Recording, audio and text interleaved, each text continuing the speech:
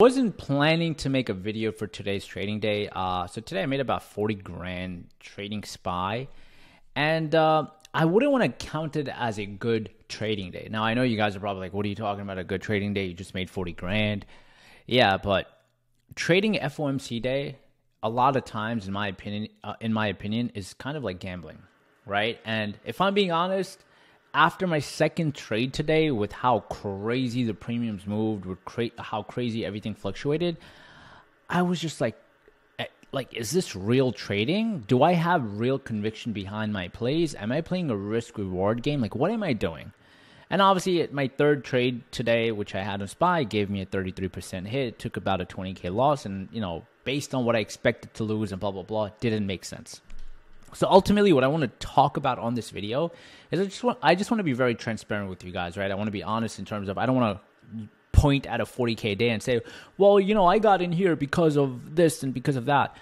Uh, realistically, the only trade that kind of made sense was this. These two trades did not make sense at all. Like, I kind of threw a dart at the wall and one of them stuck. Now, if you go back to most of my trades from the past, that is not the case for anyone that is new here, that is looking. They're like, what's going on, right? Is he just throwing the dart in every trade? No. Like, no, it's just this these two trades. I know that's the case, and I want to be honest and transparent about that. And like I said, I wasn't going to make a video. I was just gonna say, you know what, whatever, not a day worth to make a video, but I was like, you know what, I want to talk about this because this is something I feel like isn't talked about in the trading community a lot. Because the moment someone makes money, it's like, oh look, I made 40k, or look, I made 10k. Let me talk about how I made it.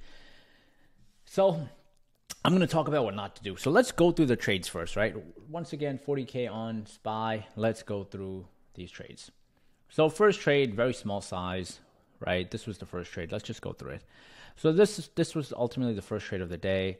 Uh, FOMC happened. We got a big flush. Right when we got a big flush, I felt like we were bottoming out. I bought calls and I sold the calls on the move up. Okay, sounds pretty straightforward. Now, realistically, there there wasn't any sort of price action read. Once again, being super transparent, no price action read. I just went, I just gambled. And and the purpose of this video is you're not going to find any setups. The purpose is to show you that we sometimes as traders need to control our ego. Even after like I had a 40k day, I need to come here and, and share that with you guys because I can't come come here and say, well, I bought here because I I had a high probability knowing that this was going to go up. I did not know like at all. That's why I don't trade FOMC day. I don't trade these crazy moves. The tape is too aggressive. It's very hard to read anything. Yes, I could sit here and say, well, you know what? When I got in here, I, I saw we were at the low of the day. I saw we were possibly forming a bottom around, uh, you know, 205 uh, Eastern time. But essentially, does it make a great trade? Not so much. That was the first trade, right? Uh, second trade.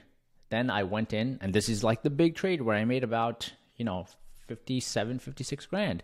So i got in at 1430 which is about 230 so i got in here i got calls and i got out right here.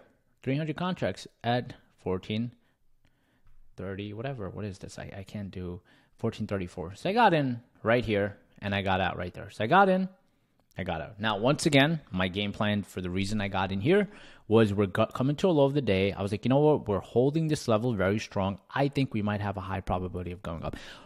Once again, being super transparent, no setup, just playing levels on FOMC while Powell is about to speak.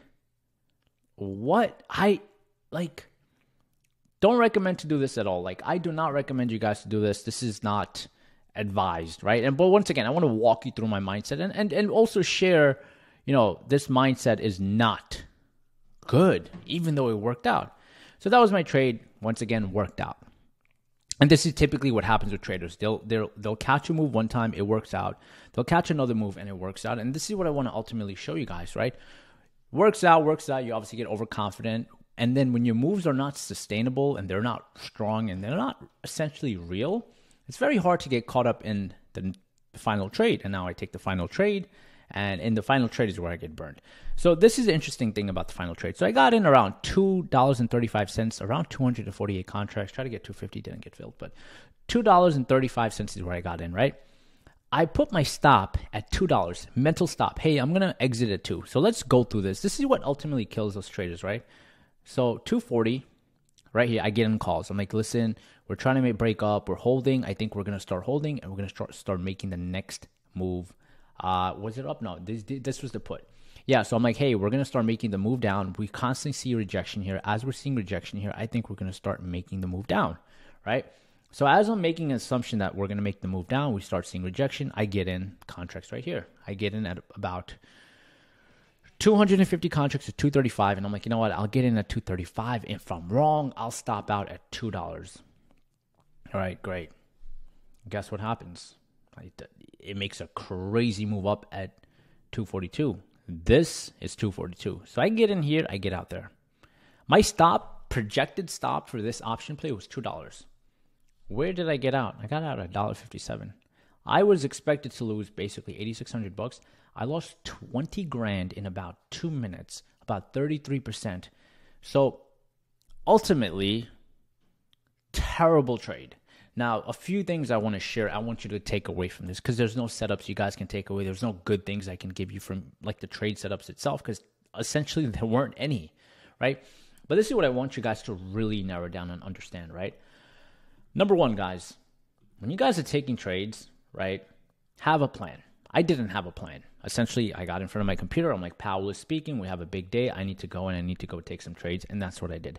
Despite me being green, I, I that's what I that's what I don't want people to get confused with. I don't want people to, people say, well, why is he saying all of these things? He's green. He, he's made forty grand. No, guys, this is the part of trading where people get trapped. This is where so many traders that I know get trapped and get they get stuck, right? So this is the pattern that happens.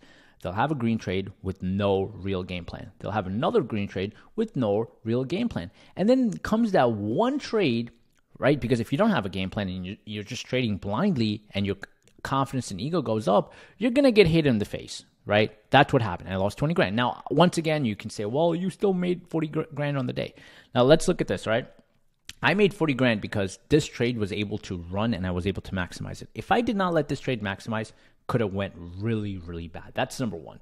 Number 2, if I, right, when I was in this trade, if I held this trade for maybe a few more minutes, that's the second thing, right? I got out on this candle, right? Uh if you go to this candle right here, I I remember the option contracts went to $1, below $1.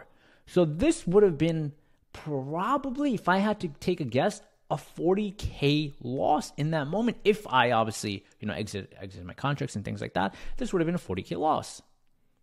Right? And it's like then what typically happens to a trader afterwards? You know, obviously a trader takes a loss, they take one trade, it doesn't work out in the favor. Obviously you go on tilt, that's the thing. You go on tilt. You go, oh, I was wrong. I'm going to go trade this. You trade that. You trade this. You trade this. You trade that. You're on extreme tilt. Now, instead of me even having a flat day, I go to a negative 50K or 40K day and I blow away all my month's profits, if not one week's worth of profits. And that's what I want you guys to avoid. And that's what I want you guys to be aware of. So, once again, a few things. When you have green trades or green days, go back and be honest with yourself and say, listen, I had a green day. I had a green trade. Great. Did I actually like have a good setup? No, I had no setup. So if I go here, realistically, I, I don't care what the trade outcome is. I don't care even on, the 50K trade. I'm going to be honest. I'm going to say I didn't have a setup.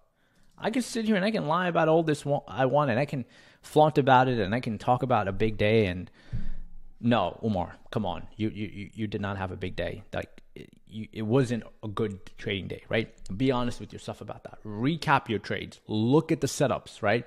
Because you can get lucky one day, you can get lucky two days, you can get lucky three days. But if you want to make it in this game for a long period of time, in my opinion, luck is not going to be on your side. So when you have these days or these trades or whatever the case is, you need to ultimately just be honest and and and and be real with yourself and say, well, that wasn't a good trading day, and not get to a point of tilt. And if this happens, like, see, the great thing with me at this stage of my trading career, I was aware enough to say, listen, I'm just trading nonsense. There's too much fluctuation. Like, look at this action. Like, yes, I wish I showed it here. If I showed it here and I held, I could have made. Come on. But who was going to short this? Who's going to hold through all of these moves? Who's going to get in here? Like, it's very hard, in my opinion, with my trading style. For other people's trading styles, it might work. With my trading style, doesn't work. Right? Same thing with here. Maybe I got the low of the day, but the risk here was not sustainable. The risk here, here was not predictable. The premiums were fluctuating so much and so fast that at one point it became very hard to like. I thought I was going to lose 8k. I lost three times my initial risk. One or two more trades on tilt here, I would have destroyed my whole trading day. If not, if this trade didn't work out, let's just say this one trade failed, right? Instead of me make losing 56k, right? Based on my stop, right? I got in at uh I got in at 239. I thought my stop's gonna be at two. Let's just say my stop here did hit at 150. I'd have lost twenty six thousand dollars. My biggest red day in this month. Last month I had a 24k loss, so not not overall, but would have been a big red day. And that's not what I as a trader want to be put into. I don't want to be put into predicaments that I am, you know, looking to fail. I want to be in predicaments that give me the highest probability to succeed right? With the best risk tolerance that there is that I can basically look at and kind of take it to my advantage.